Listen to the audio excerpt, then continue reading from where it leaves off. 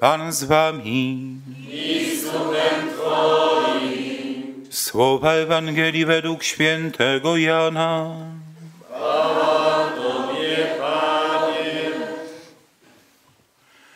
Jezus powiedział do swoich uczniów: Jak mnie umiłował Ojciec, tak i ja was umiłowałem. Trwajcie w miłości mojej. Jeśli będziecie zachowywać moje przykazania, będziecie trwać w miłości mojej, tak jak ja zachowałem przykazania Ojca mego i trwam w Jego miłości. To wam powiedziałem, aby radość moja w was była i aby radość wasza była pełna. To jest moje przykazanie, abyście się wzajemnie miłowali tak, jak ja was umiłowałem. Nikt nie ma większej miłości od tej, gdy ktoś życie swoje oddaje za przyjaciół swoich. Wy jesteście przyjaciółmi moimi, jeżeli czynicie to, co wam przykazuję.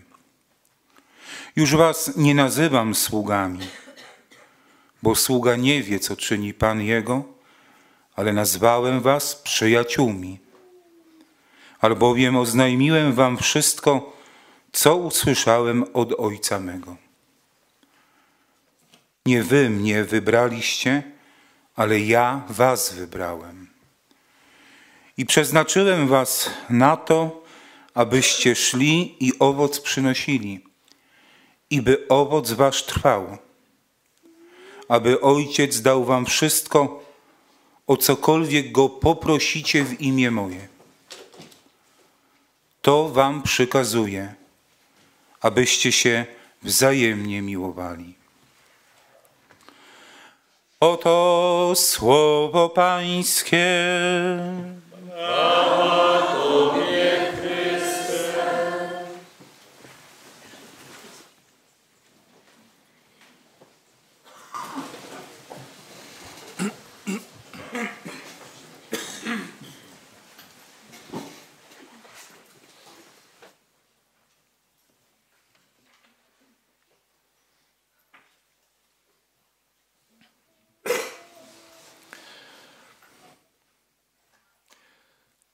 Duchu Święty, kiedy Ty wstępujesz, od razu nasze dusze to odczuwają, radują się.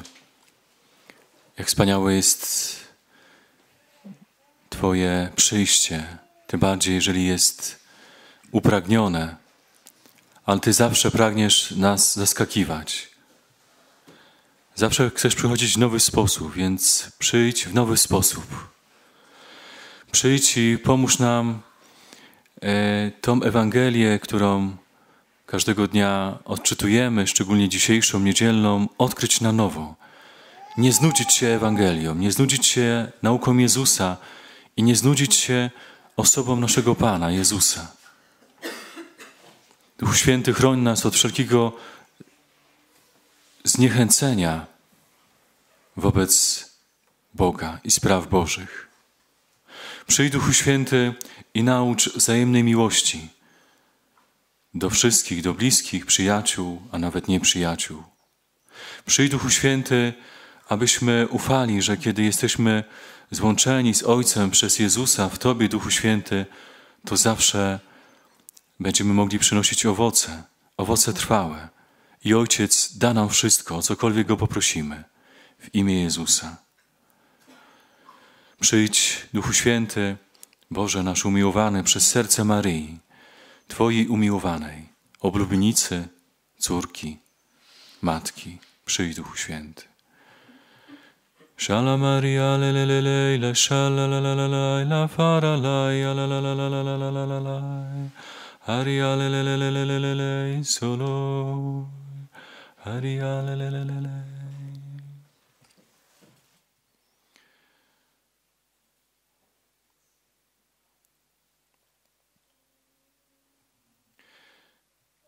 więc tak jak wspomniałem w tej modlitwie przed homilią,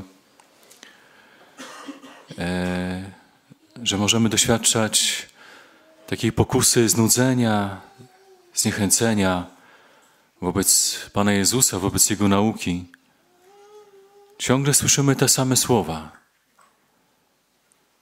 E, od tylu lat, tylu wieków głoszona jest ta sama Ewangelia. Ale ta Ewangelia ma moc przemiany ludzkiego serca. Serca, które jest otwarte i słuchające. Serca, które jest pokorne. Serca, która, które e, nie szuka w słowach Bożych swojej przyjemności, ale szuka tego, aby sprawić przyjemność, radość i chwałę Panu. Dzisiaj więc Jezus głosi naukę, która jest podstawową nauką Jego, którą głosił wobec wszystkich ludzi. Nie ma większej miłości, kiedy ten, kto miłuje, oddaje swoje życie za tych, których kocha, którym głosi naukę. Jezus poprzez oddanie swojego życia, poprzez ofiarę ze swojego życia, pokazał nam, że Jego nauka jest nauką, która jest miłością do końca. Miłością, która jest gotowa poświęcić się dla wszystkich, których kocha. Miłość, która nie ustaje, wszystko przetrzyma, wszystko znosi. Miłość, która jest łaskawa, cierpliwa. Miłość, która jest cicha. Miłość, która nie szuka rozgłosu. Miłość, y, która jest pełna radości. Jezus powiedział, że kto miłuje Go, będzie obdarzony radością pełną, nie z tego świata. Bo świat tylko może nam dać smutek albo namiastkę radości, która jest fałszywą radością, tak naprawdę. Jezus też mówi o tym, że ze sług apostołowie ci, którzy słuchają Jego nauki, stają się prawdziwie przyjaciółmi.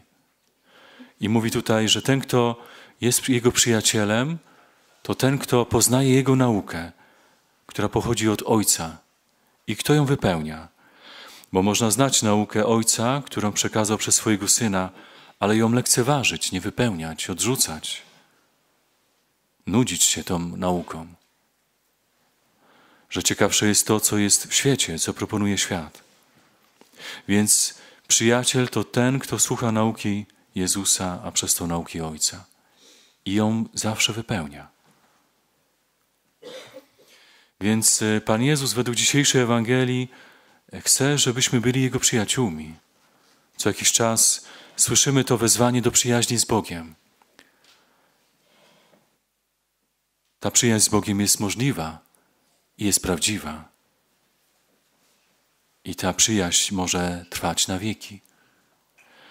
Wczoraj wspominaliśmy e, świętego Dominika Savio, kilkunastoletniego chłopca, który był wychowankiem świętego Jana Bosko, e, który kiedy umierał, byli przy tym jego bliscy, jego mama, mówi, mamo nie płacz, bo widzę teraz piękne rzeczy.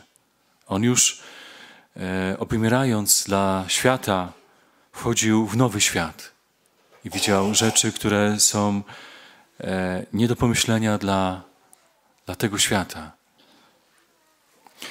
Też po śmierci, po swoich narodzinach dla nieba, ukazał się również mamie, żeby ją znowu pocieszyć i powiedział: Mamo, nie bój się, nie martw się, ja już jestem w niebie i modlę się za Was. Modlę się za Ciebie.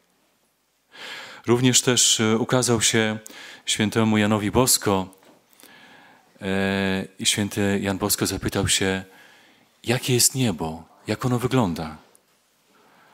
A Dominik powiedział, nikt e, na świecie, żaden człowiek nie jest w stanie wyobrazić, się, wyobrazić sobie, jakie jest niebo, jaki jest Bóg. Po prostu tylko wtedy, kiedy człowiek połączy się z Bogiem, będzie wiedział, co to znaczy niebo. Po śmierci, kiedy połączy się z Bogiem. I powiedział, że niebo, szczęście w niebie to po prostu Bóg. Bycie z Bogiem to najwyższe, największe szczęście. największa radość i rozkosz dla duszy i serca człowieka. Więc ten święty powiedział właśnie e, to, co też wielu innych świętych mówiło, że nie możemy wyobrazić sobie na ziemi, czym jest niebo. Z drugiej strony szkoda, że choćby na chwilę nie możemy zobaczyć, jakie jest niebo, bo byśmy rzeczywiście tak bardzo go pragnęli, tak bardzo za niebem tęsknili, tak bardzo tęsknili za samym Bogiem, za samym Jezusem. Gdybyśmy chociaż na sekundę zobaczyli, jak ono wygląda. A tak to niestety, tak jak powiedziałem na początku, niestety świat uczy nas tego, że właśnie, że Bóg i Jego sprawy to jest nuda, nic ciekawego. Że Bóg, Jego nauka, Jego miłość to jest śmieszne, to jest przeżytek, to jest głupie. Że niebo e, jest nieciekawe, monotonne. Tu na ziemi możemy się pobawić, a tam to będziemy się męczyć z Bogiem, bo Bóg jest nudny. Tak świat nas uczy. Nie, to jest bluźnierstwo wręcz. To wręcz jest e, obraza Pana Boga. Nie. Bóg jest wspaniały, cudowny, zachwycający. I takim będzie dla nas na wieki, kiedy osiągniemy niebo, będąc zjednoczeni z Nim, połączeni na zawsze. To będzie, to będzie właśnie tak. Dlatego Jezus nas uczy tego, jak mamy się do tego wydarzenia przygotować. Połączenia z Bogiem na wieki już tutaj to się zaczyna.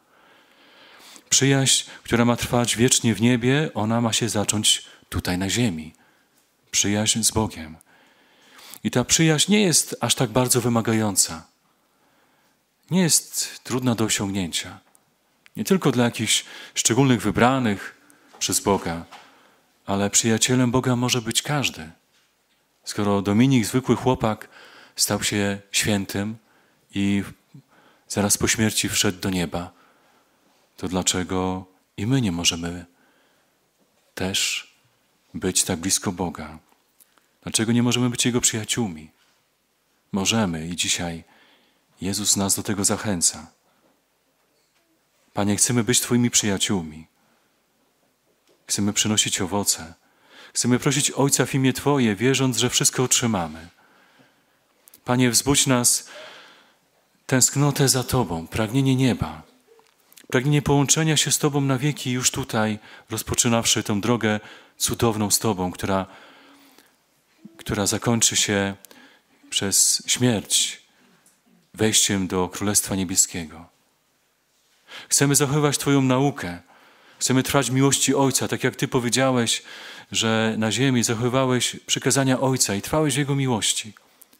Chcemy Cię naśladować. Nie chcemy kochać tego świata tak, jakby ten świat był bożkiem dla nas, wszystkim. Wiemy, że ten świat przemija, Panie. Wiemy, że my też przeminiemy ale wierzymy, że te słowa, które powiedziałeś do nas dzisiaj, że one też wypełnią się w nas. Jak wspaniale być przyjacielem Boga, tak jak święty Dominik.